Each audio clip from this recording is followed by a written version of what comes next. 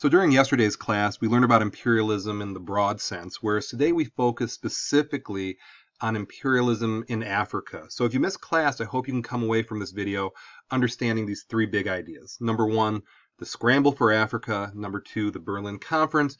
And number three, the effects of European imperialism on Africa. But before we move forward, let's do a previously on yesterday's class. What is imperialism?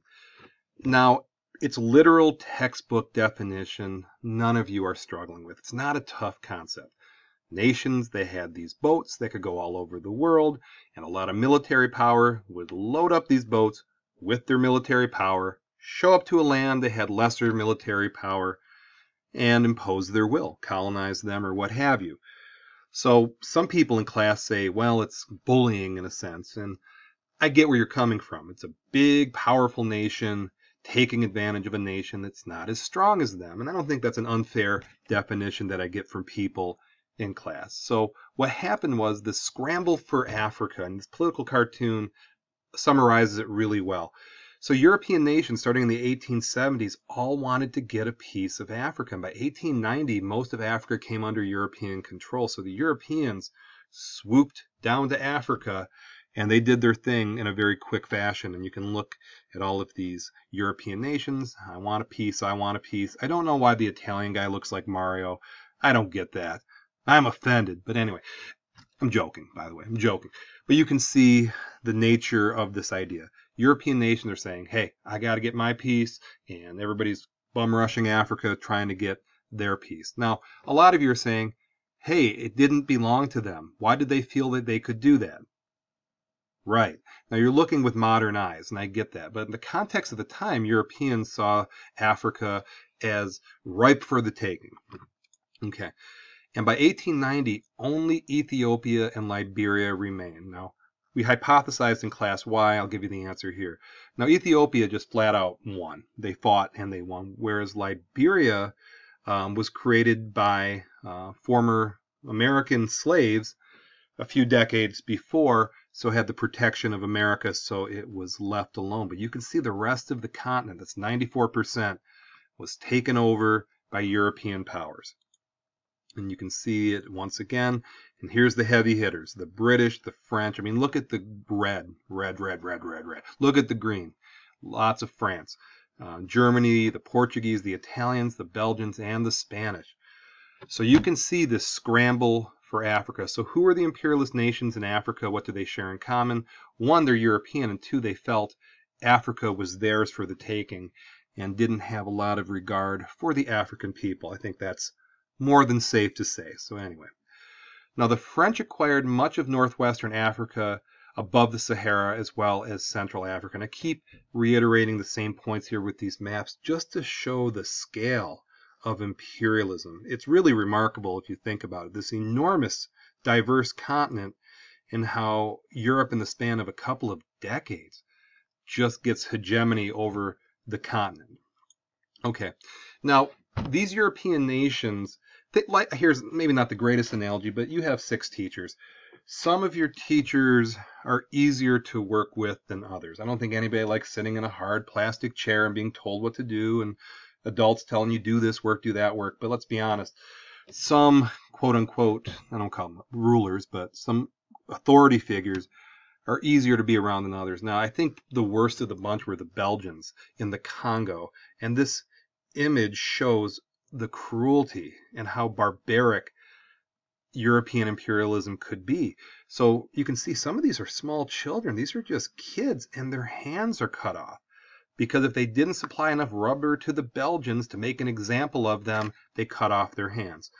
Now, a lot of you logical people are saying, well, they can't get rubber anymore with one hand. Yeah, I get that, but it's just trying to scare others. And the fact that you could cut a child's hand off is a level of cruelty that boggles my mind. So, anyway, this scramble for Africa was terrible for the Africans. They really, really struggled. Whereas the British were the most reasonable, I could argue, of these European powers. But again, nobody likes being told what to do, and certainly nobody likes some foreign power coming into your land and doing what they want to do in that land. So anyway, so the second big point was this Berlin conference. And you can see a drawing here of it, and you can see these Europeans. And so they don't start wars with themselves and step on each other's toes. They decided to sit down and, and carve it up. So, hey, you take this and you take that. No, I want this. No, I want that. Okay, let's compromise this kind of thing.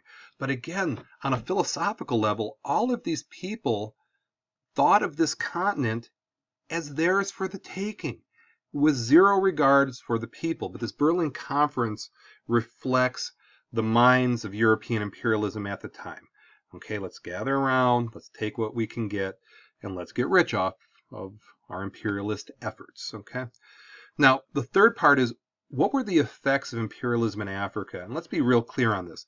They are still being uh, felt in modern times. Okay, this is not, granted, it's history, but its impact and its effect is still being felt today. Okay, so one of the effects, and I am reluctant to call them positive effects, but some things that came about with this imperialism was the rise of transportation, you know, trains and, and telegraphs and phones.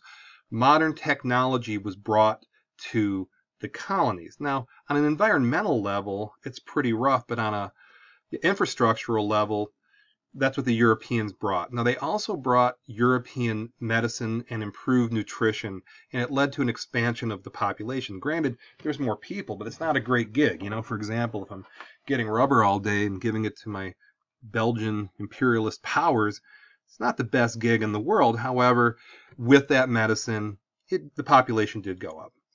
Now, the downside, you know, clearly I've already showed you people getting their hands cut off, and the Germans committed what I consider a genocide of starving um, people in their colonies. And here's some photo evidence to how bad it was that the Germans would let people starve to death. There was tremendous, tremendous cruelty. This notion that these are inferior people can be done with them whatever we we see fit. Not a nice way to treat other human beings. We can all say that. Now, Europeans divided Africa and ignored historical, ethnic, and cultural boundaries. This is a little more of a difficult concept. So let me give you an analogy, hopefully you understand. Let's say in class, I know within the class there's certain people don't get along. Now, I think I'd be a lousy teacher if I paired you up in projects together and had you sit next to each other. I know full well, I've had this happen many, many times where people come up to me and say, don't sit me next to such and such. I Go, okay, you go sit in the far corner and I'll put this person in the front corner, use a different pencil sharpener, do not come in contact. You have conflict with each other. The Europeans did not care. So, for example, these are the ethnic groups within Africa, and political lines were drawn regardless of who was there. So they were putting people, different people, in the same borders. Problems are going to happen. Now, when Europeans left, you can imagine, oh, we're leaving now play nice, get along. Well, it doesn't work like that, as you can, you know, as you can guess. Okay. Now, the philosophical undercurrents that allowed all of this. Okay, this notion of eugenics. So, eugenics is this idea that only the strong should survive, and they're equating people what you do with animals. So, I don't think it's anything off-putting if you say, well, I'm a dog breeder and I want the uh, strongest two dogs to mate to make strong puppies. Okay, that's fine in the realm of biology, but Europeans at the time equated that with people. That hey, Europeans are superior, and um, you know we should breed and the weak should not. And eugenics, this well-born, came from Francis Galton. This uh, genetic determinism, it was concerned about which uh, traits you could, um, you know, the traits that are spread through the human population. And this notion permeated imperialism the whole time, okay? So the primary sources speak for themselves, and this, you know, went, you, you'll blow your mind how far this notion of eugenics went, and you can see the in America these efforts to only have certain people breed and certain people should not. And certain people should be sterilized so they don't have offspring. The same thing you do with like a weak dog, but these are people. And this was acceptable in the European mind and the American mind for a long, long time. Yeah, it's kind of a sick feeling. And you can see people who should be sterilized. This is a chart. This is a medical chart. Is, these aren't an insult. And they had levels from moron, imbecile to idiot. And these people should not reproduce. And if you look at this statistic, they sterilize people for being feeble-minded. In other words, lower IQs, epilep epileptics, that's a tough word to say, and people with mental illness. So this idea, this philosophy permeated imperialism, okay? And I, I mean, I showed you a bunch of stuff in class. Well, you were absent, you didn't see it, but you can see these charts that kept reinforcing the notion of European or white superiority, and it permeated pseudoscience and it permeated legislation and um, it was rationaliz rationalization and justification for imperialism. So just to wrap things up, there are six questions I'm going to ask you to answer. They are all on Google Classroom, so if you were absent, please simply answer these six questions and turn them in. And just to make one last point, Africa as a continent got carved up by European powers to the tune of 94% of the continent. That's a lot. So you could make a strong argument of all of the areas of the world um, where imperial powers showed up.